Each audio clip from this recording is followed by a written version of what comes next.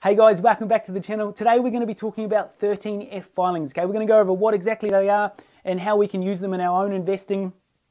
And then I'm going to show you a few different places where we can find the 13F filings. And then I'm going to show you a few different um, value investors that I like to follow through their 13F filings. Okay, this is something I really want to bring into the channel. So if you'd be interested in seeing more about the 13F filings and that sort of thing, then drop it in the comments below.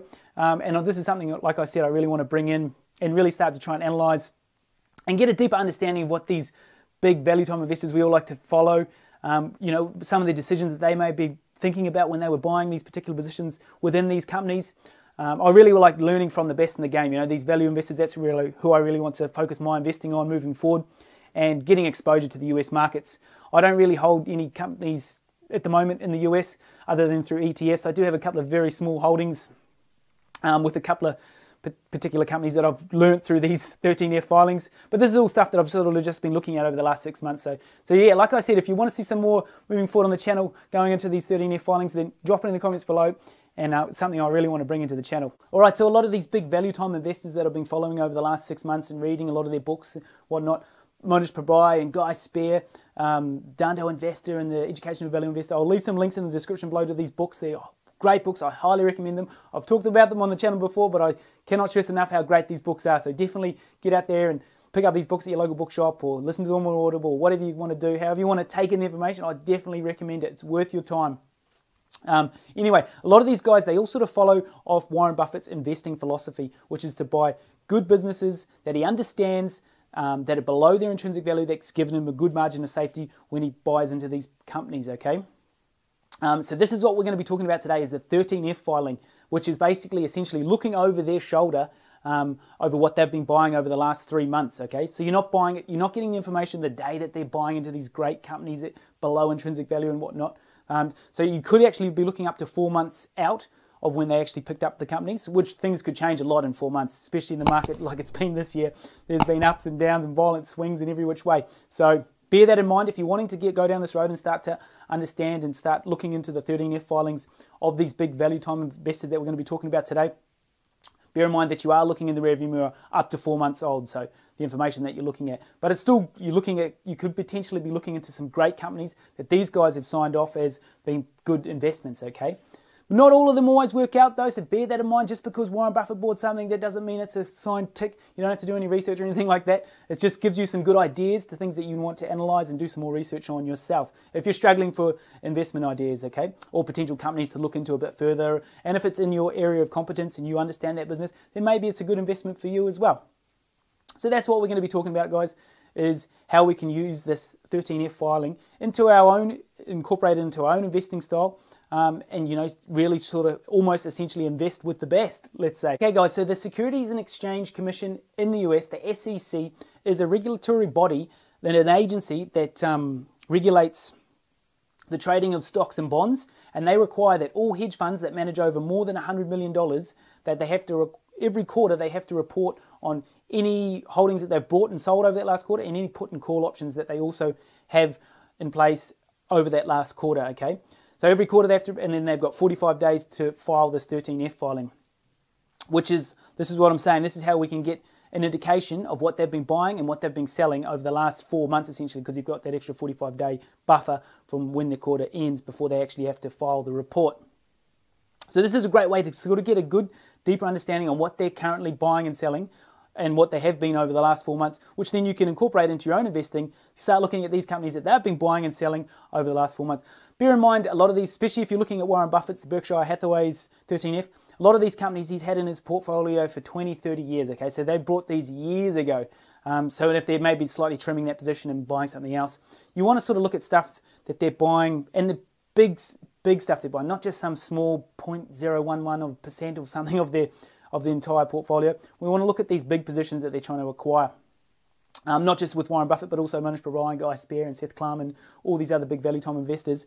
Uh, what you know, look at the bigger positions that they're taking, okay, and then start looking at those companies. This would be the good place to start if you're a bit lost for any ideas on, you know, US-based companies that you want to start looking into. Then I would recommend looking at these 13F filings and look at their latest holdings, what they're buying, what they're selling, and that sort of thing moving. So just a couple of extra things on the 13F filing there, guys. The SEC did come out with a report, I think it was in June or July, that currently every hedge fund that has over 100 million in management, they have to report every quarter on this, uh, their 13F. But they have said that they may push that out to 3.5 billion, which will cut out a lot of these good value based investors that we like to follow through these 13F filings. So that's a little something we need to keep an eye out on um, moving forward. Obviously, Berkshire Hathaway and all the big value time um, hedge funds will still be included in it, but it will cut out Mohnish Pabrai and a few of these other ones that are good to follow as well. So bear that in mind. That may change the whole 13F filing system. I really hope this doesn't come into play, but they're talking about it. So if they're talking about it, there is a chance that this possibly could come into play. Also, it doesn't include any short positions or any investments that are held outside the US. Generally, I think some I have seen a few other companies. I think it was a Sequoia fund. They've got um, A2 Milk uh, in their fund, which is a New Zealand company, obviously. Um, so, but they don't have to include uh, a lot of their holdings that are not in the in the US in their 13F filing. So that's another thing to be aware of. A lot of these companies or hedge funds also have investments outside of the US, especially uh, Mohnish Pabrai with uh, Dalal Street um, with his hedge fund. He has a lot of investments in India and I think even possibly some in Japan, possibly, um, and I think maybe even some in Europe somewhere as well. I'm not 100% sure there. Um, so he's only on. If you look on his 13F filing, he only has three holdings, I think it was. Um, so definitely, yeah, bear that in mind. This might not be their entire portfolio. This is only just the US-based stocks that you're looking at. Okay, so just a few little facts there as well around the 13F. A couple of different places you can find these 13F filings online. One being Whale Wisdom. I'll leave a link in the description below. That's the one I like to go to. They have a couple of different options. I just use the free option, but I definitely recommend you jump on there and check out the um, the different 13F filings that are available on there. I'm going to give you a couple of different 13F filings to start off with, to start your research on. But this is something that I'm really wanting to bring into the channel. So if you're interested to see some more videos going off on 13F filings and start looking at and analysing different companies that some of these big value investors have made, drop it in the comments below.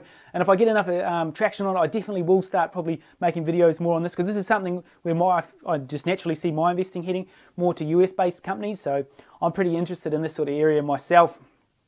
So I'd love to start making some more videos on these US based companies as well, as well as alongside obviously analysing, studying um, Australian and New Zealand stocks as well. But I also want to sort of start looking at some of these US based um, companies as well from some of these big value investors that I really look up to and admire some of their uh, investments they've made over their investing careers. And I think that's where I sort of want to start heading more. With a lot of my um, equity market investing is more US based. So yeah, like I said, if you want to see some more videos like this, drop it in the comments below and I'll, and I'll endeavour to make some more videos more around the 13F filings.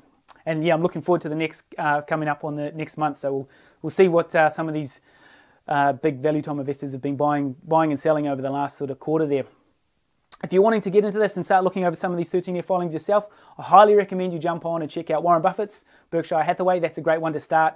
He's got a number of holdings there, and bear in mind he has a lot of has had these holdings for a lot of many years, let's say. So, um, you know, don't just rip out and buy every single thing that he's had because he's bought these probably 20, 30 years ago at a fraction of the price of what they're selling at today. So bear that in mind. Mohnish Pabrai Dalal Street is another great one to start with, um, looking at a bit of a look through there. The Dhandho Investor. If you've not read his book, I highly recommend his book as well. Uh, Guy Spier, who's almost who is a friend of Mohnish Pabrai, also another great one. He runs the Aquamarine Capital Management Fund.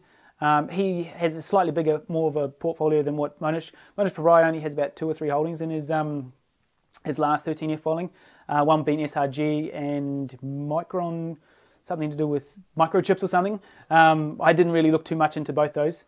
I do did did do a bit a lot more research on the SRG because a lot of uh, these big value time investors have been taking up a position with SRG. So that's a company that I've been doing a lot more research on recently. Um, so check out those ones. And then lastly, Seth Klarman, Baupost Group. Um, he has a bit more of a bigger portfolio. I think he had about 37 or 38 different holdings um, when I last checked. Um, and th- this guy's been getting some phenomenal returns over the last sort of you know 12 years or so, been sort of averaging around that 20%. So this is another uh, value investor I've only sort of just learnt about recently, but I've been starting to follow a lot more of um, you know what he's sort of been buying and selling over these last sort of six months or so. So those are the sort of ones that I've been starting to look at. But by all means, I'd love to know what you guys are looking at. If you guys are interested in the 13 filings, then yeah, definitely drop it in the comments below and I'll do a bit more research on it all and start trying to really analyze some of these US based companies that the best of the game are investing in. Um, so that pretty much wraps up today, guys. If you enjoyed today's video, guys, hit that like button. Be much appreciated. You know the drill. And if you want to see some more videos like this moving forward, then hit that subscribe button and you'll be the first to know when the next video drops. All right, guys, we'll catch you in the next video. Cheers.